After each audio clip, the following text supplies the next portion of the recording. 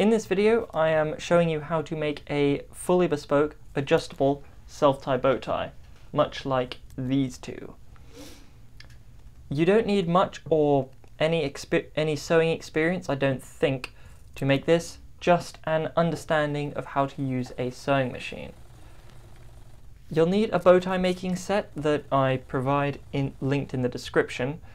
It's a set of three so you can practice if needs be. And you also need some cloth to make your bow tie out of, an optional interfacing or tie canvas, and a pattern, which I provide with the bow tie making kit if you buy from me or I also show you how to make this one. But if you have a completely different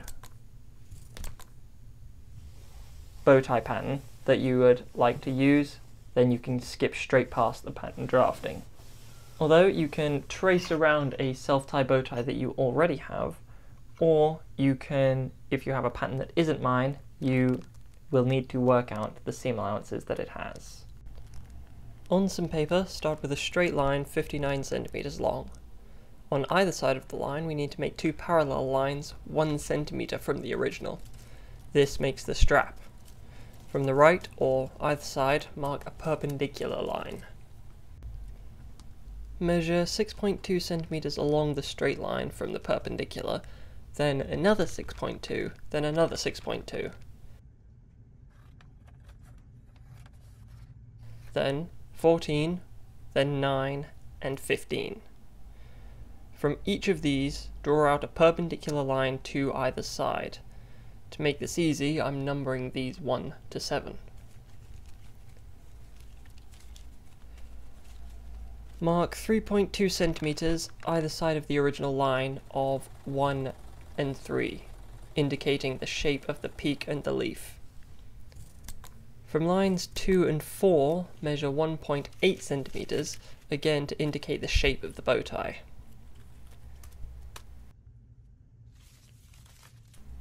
Making the shape, I made a template for the curve between the two points that I used to curve from the high points to the low points all identically. Also curving from the points on the fourth line to the strap. On the long original line again we can mark 2 centimeters from the first perpendicular line that we drew. We can create a diamond point bow tie pattern.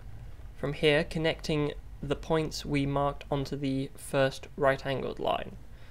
This is a design common in most less formal bow ties, so you wouldn't put that point onto Marcella or black type bow ties, we'd use the straight. We need to add seam allowances to the bow tie, add 5mm to the entire perimeter. I could have added it in the original measurements, but I wanted to be very clear about the final dimensions and the seam allowance on the pattern. I can use the same template I made earlier to trace the seam allowances. I'm cutting the strap pattern along line 7.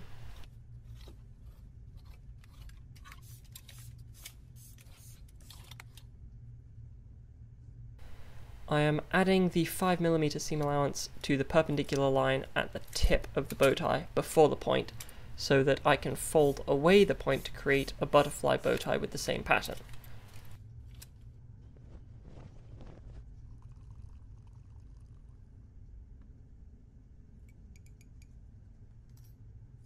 Place your pattern onto your desired cloth, ideally on the double, with the inside facing outwards, as we tailors will often cut.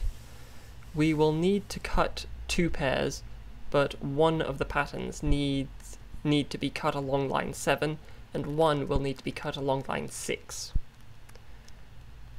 Lay the pattern onto the cloth as economically as possible for no other reason than being economical. I had once used old ties to recut and sew bow ties from. Very nice silk and tie canvas that was. I'd refer to my other cutting videos if you want guides on what I'm thinking about as I trace and cut them out. I don't want to weigh down this video. Using sharp chalk, quite gently, cutting on the inside edge of the markings so that it retains its dimensions. We have our bow tie pieces, so now I want to cut my tie canvas.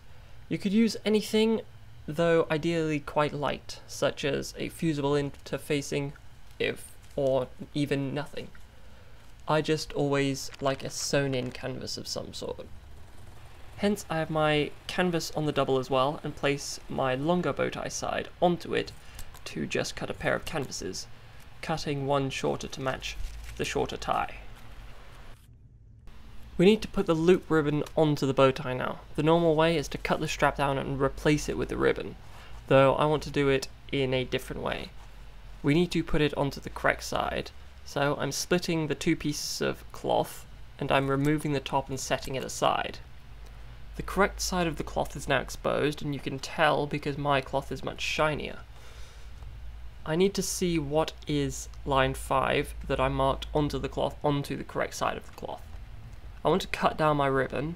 I measure from the 13 and 3 quarter hole 1 centimeter towards the nearer raw edge and chalk that line, cutting the excess away. I place my ribbon so that the line we cut is on the line that we chalked, that the numbers are facing the bow tie and the ribbon, ribbon is laid onto the spread of the bow tie. I pin it in place so that I can fix it with my sewing machine. I want to preferably sew it with a 0.5 centimeter seam allowance. I'm folding the ribbon back to its original position over the strap and pressing it down.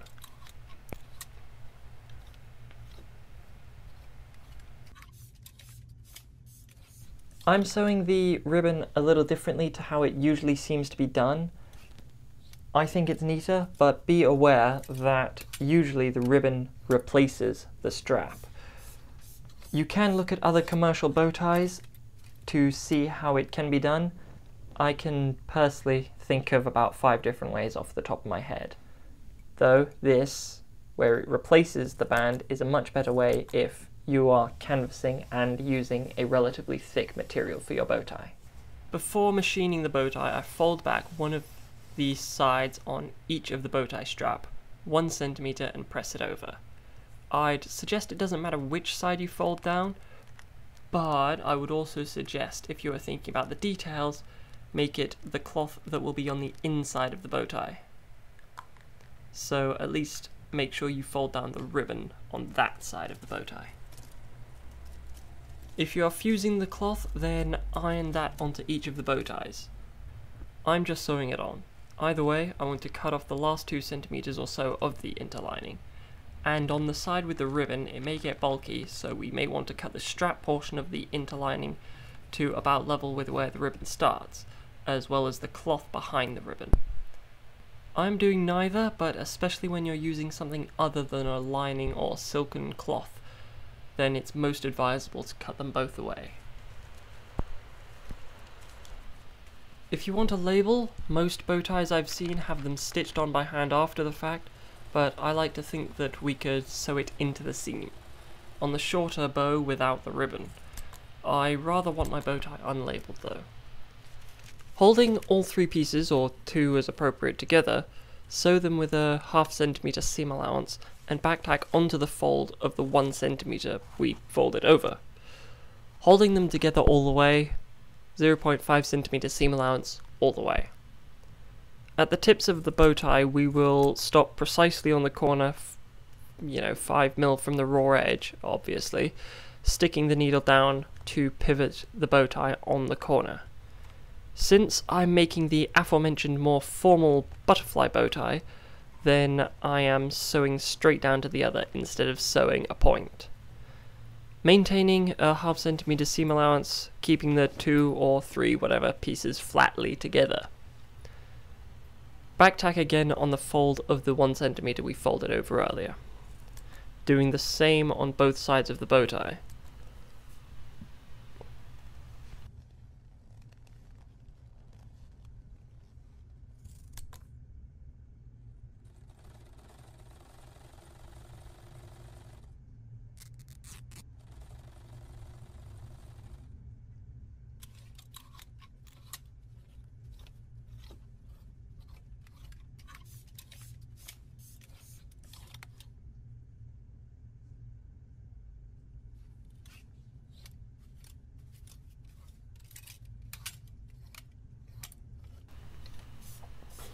At this stage after machining I would always press the stitching, trimming the threads before moving on. Before folding the pieces inside out, I suggest first cutting the corners of the tips of the spread, also snipping into the neck a small amount so that they fold inwards much more easily. On top of this, something I want to try is to fold over the canvas side of the entire perimeter of the bow tie. I expect this will make it easier to get the stitching neatly to the edge of the folded out bow tie, since we are unable to press the seam open.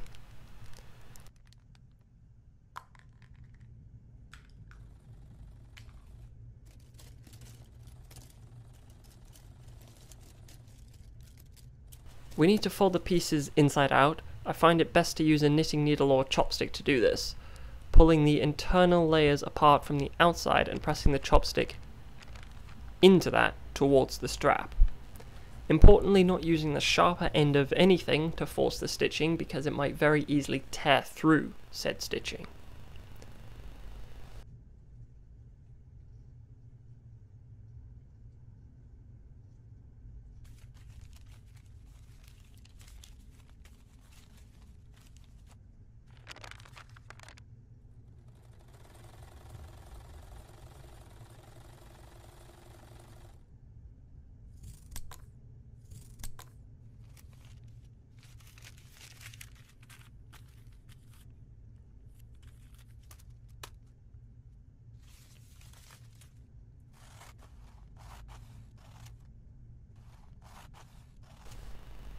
With both of the pieces turned right side out, we can press the bow tie neatly flat, very importantly making certain that the stitching is pulled to the edge of the cloth. At the end of each strap, there should be one clean folded edge and one raw edge protruding an extra one centimeter. To attach the hardware, I am folding the extrusion into an arrow before using a needle to tie a thread around the tip to make it easier to stick into the opening of the strap. We need to put the T-hook onto the bow with the ribbon. Pull it into the strap quite taut and we'll stitch the strap closed as close to the edge as possible to fasten while we fold it into the strap and by extension the hook.